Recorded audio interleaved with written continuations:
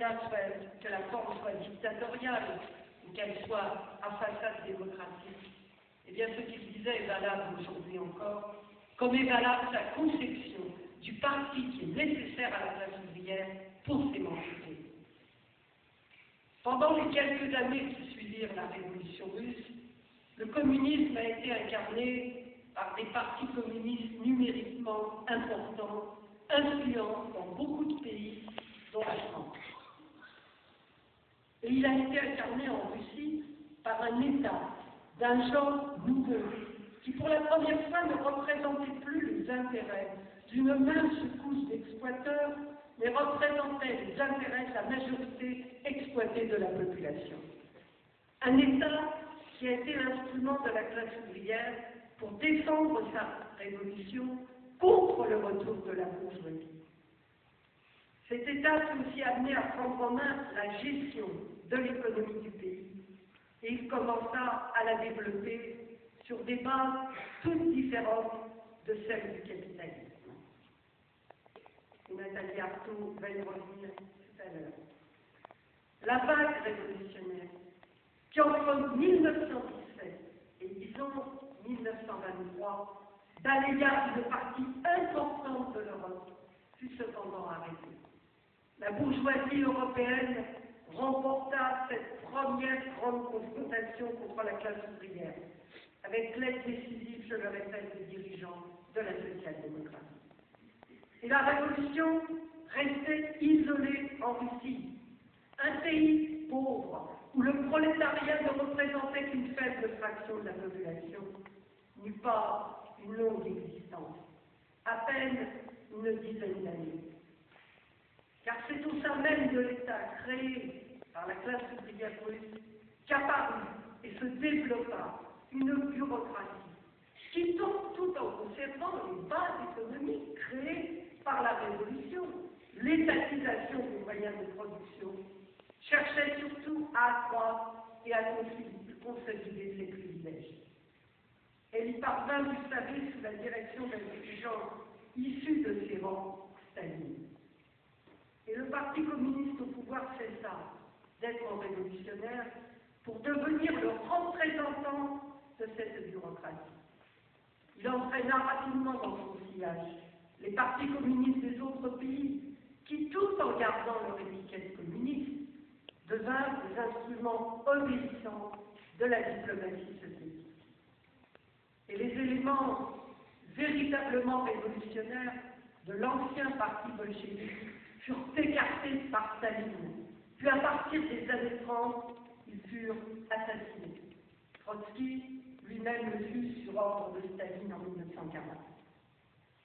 C'est pourtant au sein de ce courant communiste que se trouvaient les militants qui s'opposèrent à la montée du stalinisme, des militants qui s'étaient regroupés autour de Trotsky et qui s'opposèrent aux privilèges bureaucratiques naissants, qui s'opposèrent à la dénaturation des idées communistes, et ils le firent justement au nom du communisme.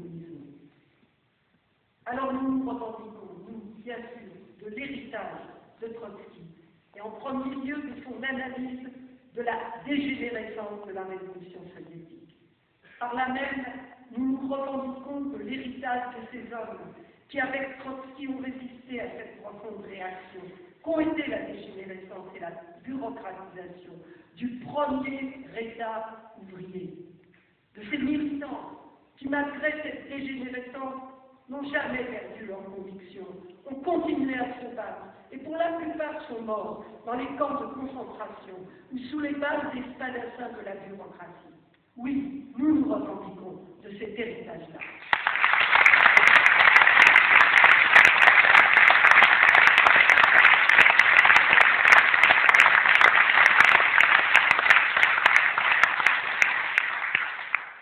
Certains de ces militants avaient connu la révolution de 1917, voire pour les plus anciens, les années de lutte clandestine contre le tsarisme, la prison, la déportation ou l'émigration.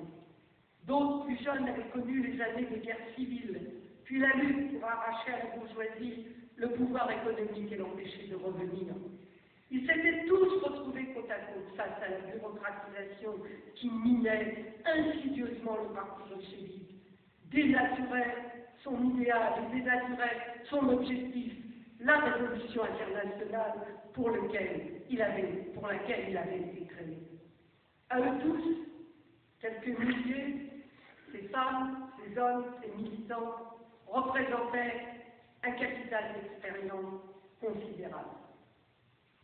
Et des décombres du parti bolchevique stalinisé avaient émergé de fait un véritable parti, le seul qui, dans le courant trotskiste, a réellement, véritablement mérité le nom de parti.